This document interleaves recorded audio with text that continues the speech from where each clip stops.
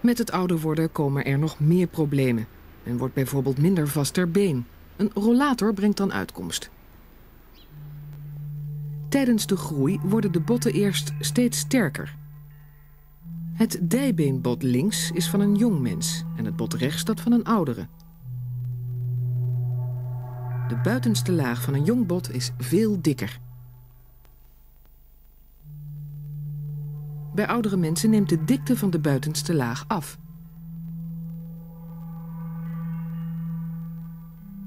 Dunne botten breken gemakkelijker.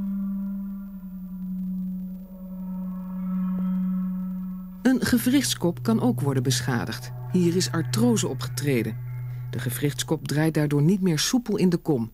En dat doet pijn. Soms wordt de pijn zo erg dat medicijnen en oefeningen niet meer helpen.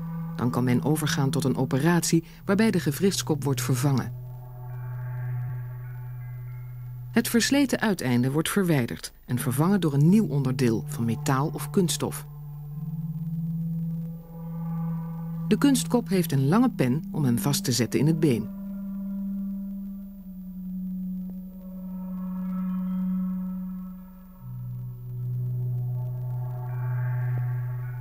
De metalen kop past precies in de kom.